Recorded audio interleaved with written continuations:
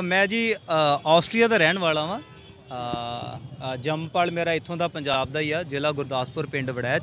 ਸਰਦਾਰ ਸਰੂਪ ਸਿੰਘ ਜੀ ਹੁਣਾਂ ਦਾ ਮੈਂ ਸਪੁੱਤਰ ਆ 7 ਸਤੰਬਰ ਨੂੰ ਜਰਨੀ ਸ਼ੁਰੂ ਕੀਤੀ ਸੀ ਆਸਟਰੀਆ ਤੋਂ। ਅ, 12 ਮੁਲਕ ਜਿਹੜੇ ਉਹਨਾਂ ਦੀ ਯਾਤਰਾ ਕਰਦਾ ਹੋਇਆ ਅੱਜ ਮੈਂ ਜਿਹੜਾ ਕਿ ਇੰਡੀਆ ਦੇ ਵਿੱਚ ਪਹੁੰਚਿਆ ਹਾਂ।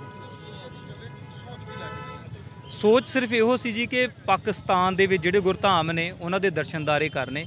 ਕਿਉਂਕਿ ਪਹਿਲਾਂ ਸੋਚਦੇ ਹੁੰਦੇ ਸੀਗੇ ਕਿ ਕਦੋਂ ਉਹ ਸਬਬ ਬਣੂਗਾ ਕਿ ਤਾਰਾਂ ਤੋਂ ਪਾਰ ਜਿਹੜੇ ਆ ਕਿ ਦਰਸ਼ਨਦਾਰ ਕਰਨ ਦਾ ਮੌਕਾ ਮਿਲੂਗਾ। ਬਟ 2 ਸਾਲ ਪਹਿਲਾਂ ਇਹੋ ਹੀ ਵਿਚਾਰ ਆਇਆ ਸੀ ਕਿ ਜਾਣਾ ਤੇ ਬਾਏ ਰੋਡ ਜਾਣਾ। ਸੋ ਅੱਜ ਜਿਹੜਾ ਮਹਾਰਾਜ ਨੇ ਇਹ ਸੁਪਨਾ ਜਿਹੜਾ ਪੂਰਾ ਕਰਤਾ ਹੈ। ਸਫ਼ਰ ਤੈਅ ਕਰ ਲਿਆ ਤੇ ਕਿੰਨੇ ਦੇਸ਼ਾਂ ਦਾ ਅਹ, ਜਿਹੜਾ ਰੂਟ ਤੈਅ ਕਰ ਲਿਆ? ਆ ਸਫ਼ਰ ਜਿਹੜਾ 20000 ਕਿਲੋਮੀਟਰ ਸਫ਼ਰ ਮੇਰਾ ਤੈਅ ਹੋ ਚੁੱਕਾ। ਦੇਸ਼ਾਂ ਦੀ ਜੇ ਗੱਲ ਕਰਾਂ 12 ਦੇਸ਼ ਜਿਹੜੇ ਆ ਉਹ ਐਕਸਪਲੋਰ ਕਰਕੇ ਅੱਜ ਮੈਂ 13ਵੇਂ ਦੇਸ਼ ਦੇ ਵਿੱਚ ਐਂਟਰ ਹੋਇਆ ਜੀ। ਸਭ ਤੋਂ ਵੱਧ ਆਨੰਦ ਕਿਹੜੇ ਦੇਸ਼ ਨੇਚਰ ਵਾਈ ਕਿਉਂਕਿ ਦੇਖੋ, ਅਸੀਂ ਜਿਹੜੀਆਂ ਕੰਟਰੀ ਚੂਜ਼ ਕੀਤੀਆਂ ਸੀਗੀਆਂ, ਉਹ ਡਿਫਰੈਂਟ ਡਿਫਰੈਂਟ ਕੰਟਰੀ ਜਿਹੜੀਆਂ ਚੂਜ਼ ਕੀਤੀਆਂ ਸੀ, ਉਹ ਇਸੇ ਕਰਕੇ ਕਿਉਂਕਿ ਹਰ ਕੰਟਰੀ ਦਾ ਆਪਣੀ ਵਿਲੱਖਣਤਾ ਸੀਗੀ। ਕਿਸੇ ਕੰਟਰੀ ਦੇ ਵਿੱਚ ਨੇਚਰ ਜ਼ਿਆਦਾ ਵਧੀਆ ਸੀ, ਕਿਸੇ ਕੰਟਰੀ ਦੇ ਵਿੱਚ ਫੂਡ ਬਹੁਤ ਵਧੀਆ ਸੀ, ਕਿਸੇ ਕੰਟਰੀ ਦੀ ਹਿਸਟਰੀ ਬਹੁਤ ਵਧੀਆ ਸੀਗੀ। ਸੋ ਇਸ ਕਰਕੇ ਜੇ ਕੰਪੇਅਰ ਕਰਨਾ ਕੰਟਰੀ ਨੂੰ, ਉਹ ਥੋੜਾ ਡਿਫਿਕਲਟ ਆ। ਹਰ ਇੱਕ ਕੰਟਰੀ ਜਿਹੜੀ ਮੈਂ ਚੂਜ਼ ਕੀਤੀ ਸੀ, ਉਹਦੇ ਵਿੱਚ ਵੱਖਰਾ ਵੱਖਰਾ ਐਕਸਪੀਰੀਅੰਸ ਆ ਜੀ। ਇਸ ਗੱਡੀ ਨੂੰ ਕਿਉਂ ਤਿਆਰ ਕਰਵਾਇਆ ਔਰ ਕੀ ਸੋਚ ਕੇ ਤਿਆਰ ਸਿਰਫ ਇਹੋ ਸੋਚ ਸੀਗੇ ਕਿ ਹੋਟਲਾਂ ਦੀ ਜਿੱਥੇ ਹੋਟਲ 'ਚ ਰਹਿਣਾ ਤੇ ਖਾਣ ਪੀਣ ਦੀ ਕਿਉਂਕਿ ਅਸੀਂ ਆ ਪਿਓਰ ਵੈਜੀਟੇਰੀਅਨ ਖਾਲਸੇ। ਤੇ ਇਦਾਂ ਦਾ ਫੂਡ ਜਿਹੜਾ ਬੋਜ਼ਨੀਆ ਸਲੋਵੇਨੀਆ ਵਰਗੀ ਜਿੱਥੇ ਕਿ ਮੁਸਲਿਮ ਕੰਟਰੀਜ਼ ਨੇ ਉੱਥੇ ਫੂਡ ਮਿਲਣਾ ਥੋੜਾ ਜਿਹਾ ਮੁਸ਼ਕਲ ਸੀਗਾ।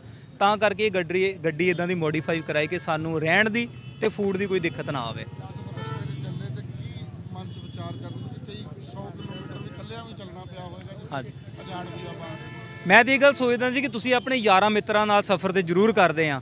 ਯਾਰਾਂ ਮਿੱਤਰਾਂ ਦੇ ਨਾਲ ਟਾਈਮ ਪਾਸ ਕਰਦੇ ਆ ਕਦੀ ਆਪਣੀ ਤਨਹਾਈ ਦੇ ਨਾਲ ਟਾਈਮ ਪਾਸ ਕਰਕੇ ਦੇਖੋ ਫਿਰ ਪਤਾ ਲੱਗੂਗਾ ਕਿ ਤੁਸੀਂ ਆਪਣੇ ਅੰਦਰ ਜਿਹੜਾ ਕਿੰਨਾ ਕੁ ਤੁਹਾਡੇ ਟਿਕਾਵ ਆ ਤੇ ਕਿੰਨੀ ਕੁ ਅੰਦਰ ਜਿਹੜੀ ਹੈ ਕਿ ਤੁਹਾਡੇ ਅੰਦਰ ਉਸ ਰੱਬ ਪ੍ਰਤੀ ਖਿੱਚ ਸੋ ਇਸ ਕਰਕੇ ਜਿਹੜਾ ਮੈਂ ਟਰੈਵਲ ਨੂੰ ਕੱਲੇ ਜਿਹੜਾ ਟਰੈਵਲ ਕਰਨਾ ਡਿਸੀਜਨ ਲਿਆ ਸੀਗਾ ਕਿ ਮੈਂ ਆਪਣੇ ਆਪ ਨੂੰ ਟਾਈਮ ਦੇਣਾ ਚਾਹੁੰਦਾ ਸੀ ਤੇ ਆਪਣੀ ਤਨਹਾਈ ਦੇ ਨਾਲ ਗੱਲਾਂ ਕਰਨੀਆਂ ਚਾਹੁੰਦਾ ਸੀ ਤੁਸੀਂ ਸਫ਼ਰ ਤੈਅ ਕਰਕੇ ਆਏ ਹੋ ਸਮੁੰਦਰੋਂ ਪਾਰ ਕਹਿੰਦੇ ਕਿ ਸੱਤ ਸਮੁੰਦਰ ਪਾਰ ਦਾ ਸਫ਼ਰ ਜੀ। ਪਰ ਜਿਹੜੀ ਚਿਹਰੇ ਦੀ ਰੌਣਕ ਆ ਹਾਂਜੀ। ਜਾਂ ਚਿਹਰੇ ਦੀ ਖੁਸ਼ੀ ਆ ਹਾਂਜੀ। ਤਾਂ ਲੱਗਦਾ ਨਹੀਂ ਕਿ ਸਫ਼ਰ ਕਰਕੇ ਆਏ।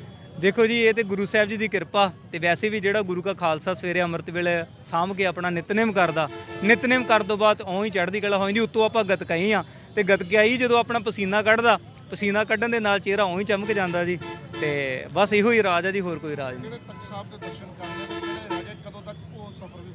ਦੇਖੋ ਜੀ ਇਹ ਆਪਣਾ ਸੀਗਾ ਕਿ ਇੰਡੀਆ ਤੱਕ ਪਹੁੰਚਣਾ ਹੁਣ ਇੰਡੀਆ ਪਹੁੰਚ ਗਏ ਆ ਹੁਣ ਅਗਲਾ ਆਪਣਾ ਟਾਰਗੇਟ ਜਿਹੜਾ ਵਾ ਉਹ ਇਹ ਆ ਕਿ ਪੰਜਾਂ ਤਖਤਾਂ ਦੇ ਸੱਚੇ ਪਾਤਸ਼ਾਹ ਮਹਾਰਾਜ ਦਰਸ਼ਨਦਾਰੇ ਕਰਵਾ ਦੇਣ।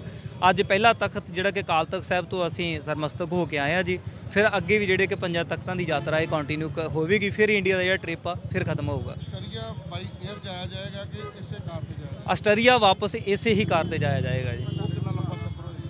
ਤਕਰੀਬਨ ਜਿਹੜਾ ਕਿ 3 ਕੁ ਮਹੀਨਿਆਂ ਦਾ ਅਸੀਂ ਸੋਚਿਆ ਬਾਕੀ ਅੱਗੇ ਮਹਾਰਾਜ ਸੱਚੇ ਪਾਤਸ਼ਾਹ ਕਿੰਨਾ ਟਾਈਮ ਲਾਉਣ ਉਹ ਮਹਾਰਾਜ ਜਾਣਨ ਜੀ। ਅੱਜ ਜਦੋਂ ਫਿਰ ਆਪਣੀ ਜਨਮ ਵਾਲੀ ਧਰਤੀ ਤੇ ਪਹੁੰਚੇ ਹਾਂਜੀ ਇੱਥੋਂ ਕਿਰਤ ਸ਼ੁਰੂ ਕੀਤੀ ਤੇ ਆਸਟਰੀਆ ਜਾ ਕੇ ਹਾਂਜੀ। ਆਪਣੀ ਕਿਰਤ ਸੰਪੂਰਨ ਕੀਤੀ। ਹਾਂਜੀ। ਕਿਸ ਤਰ੍ਹਾਂ ਦਾ ਆਨੰਦ ਆਇਆ? ਬਹੁਤ ਵਧੀਆ ਲੱਗ ਰਿਹਾ ਜੀ। ਸਾਰੇ ਜਿਹੜੇ ਗਤਕਾਈ ਫੌਜਾਂ ਆਪਾਂ ਇਕੱਠੇ ਇੱਥੇ ਗਤਕਾ ਖੇਡਦੇ ਰਹੇ ਸਿੱਖਦੇ ਰਹੇ ਆ ਭਾਈ ਸਾਹਿਬ ਹੋਣੀ।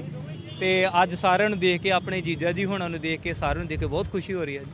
ਜੇ ਕਿਸੇ ਨੇ ਕੁਝ ਸਿੱਖਣਾ ਹੋਵੇ ਹਰਜੀਤ ਸਿੰਘ ਕੋਲ ਇਸ ਐਡਵੈਂਚਰ ਪਰ ਤੇ ਕੀ ਸਿੱਖਣਾ? ਬਸ ਇੱਕ ਹੀ ਚੀਜ਼ ਕਿ ਕਿਰਤ ਕਮਾਈਆਂ ਜ਼ਰੂਰ ਕਰੋ ਉਹਦੇ ਨਾਲ ਆਪਣੇ ਆਪ ਨੂੰ ਜ਼ਰੂਰ ਟਾਈਮ ਦਿਓ। ਟਾਈਮ ਤੁਸੀਂ ਜ਼ਰੂਰੀ ਨਹੀਂ ਕਿ ਸੱਤ ਸਮੁੰਦਰੋਂ ਪਾਰ ਜਾ ਕੇ ਦੇਣਾ। ਟਾਈਮ ਤੁਸੀਂ ਇੱਥੋਂ ਬੱਸ ਤੇ ਬਹਿ ਕੇ ਜਾ ਕੇ ਵੀ ਕਿਤੇ ਦੇ ਸਕਦੇ ਆ ਬਟ ਆਪਣੇ ਆਪ ਨੂੰ ਜ਼ਰੂਰ ਟਾਈਮ ਦਿਓ।